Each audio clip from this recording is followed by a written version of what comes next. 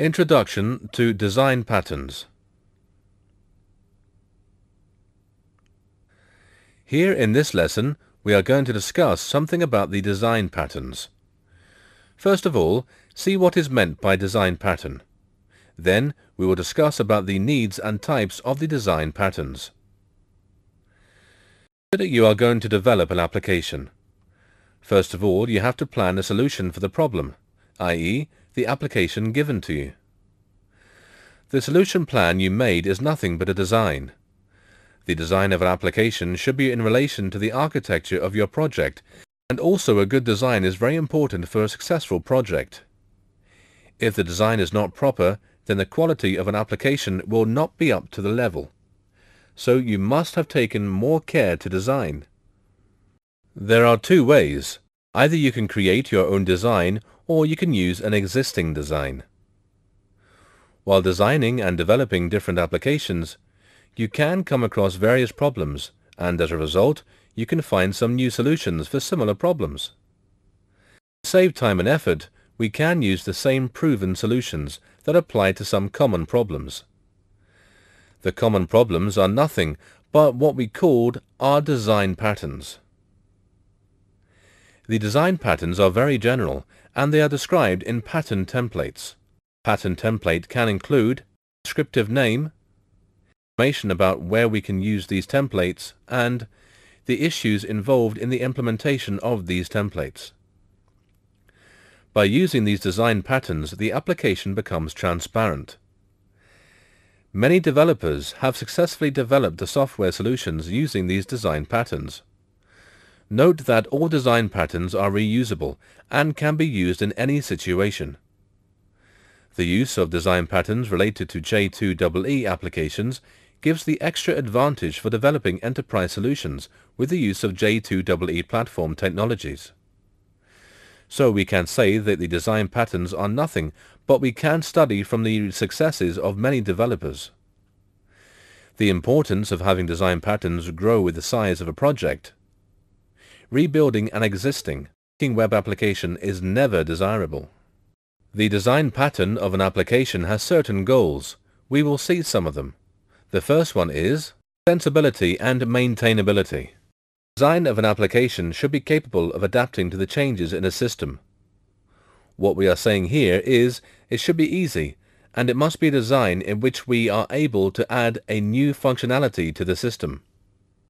Vision of work. Division of work is one of the important things to make a design better. So a good design should always divide work according to the skill sets of a different developers. Those with different skills can focus on what they do best in order to work independently. This helps to improve productivity and quality. Scalability. A scalable application is one that supports many users. Portability. A portable application helps to reduce the risks that are involved in a vendor's product, which usually do not meet all the requirements of an enterprise. Code reusability. The code developed for an application should ideally be reusable within an application and also in other applications. There are many more design patterns that are available currently to use to develop applications. Here I will show you some of the design patterns that are used in the J2EE application development. They are Value Object, Model View Controller, MVC architecture, Data Access Object, Business Delegate. MVC architecture is one of the main patterns used in the web application development. The other design patterns involving EJB are discussed in the next level. We will discuss about each of the MVC design patterns in the upcoming lesson in detail.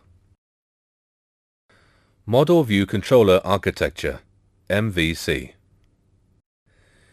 MVC is nothing but the abbreviation of Model View Controller. This MVC is one of the mostly used design patterns and the Model View Controller design pattern is a presentation tier pattern. Before getting into this, first we will see why we need MVC pattern. Let's take a look on the need for MVC. Nowadays, the enterprise applications need to support multiple types of users, with multiple types of interfaces. For example, an online store may require an HTML for web customers, a WML for wireless customers, a Java Swing interface for administrators, and an XML-based web service for suppliers. Now you are seeing the picture that an application handles the various clients. So in this case, we have to develop different applications, that each one to support each type of client interface. In those applications, the non-interface specific code is duplicated in each application that results in duplicate efforts in implementation, as well as testing and maintenance. So, what is the solution for this? The answer is MVC. By applying the Model View Controller architecture to a J2EE application, you can separate the core business logic from the presentation and control logic. So this kind of separation allows multiple views to share the same enterprise data model, which makes supporting multiple clients easier to implement, test, and maintain. A web application designed using MVC design pattern can be divided into various manageable modules. This modularity makes developing, managing, and debugging an application simpler because monitoring a small module is easier than monitoring a complete application. In the MVC design pattern, you can divide an application into three different parts. Model. This represents information about a domain. This information can be the application data of a J2EE application. In J2EE applications, JSP typically represents the view. Controller. This one represents the logic to coordinate between the view and model parts. The controller handles events fired by the view and calls the corresponding model to process. For example, a controller may contain the logic to call an EJB component to insert data to the database when a user clicks a particular submit button in the user interface. The controller also interacts with the model and ensures that the view is updated when necessary. Also, the controller may decide which JSP page needs to be displayed once the data is inserted. In a J2EE application, servlets typically represent the controller. Here you are seeing the diagrammatic representation of the interaction between the model, view and controller components of the MVC patterns.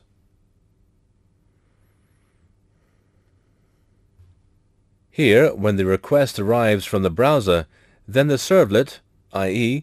the controller, initiates a Java bean and activates the corresponding JSP to process the request, and finally sends a response to the browser.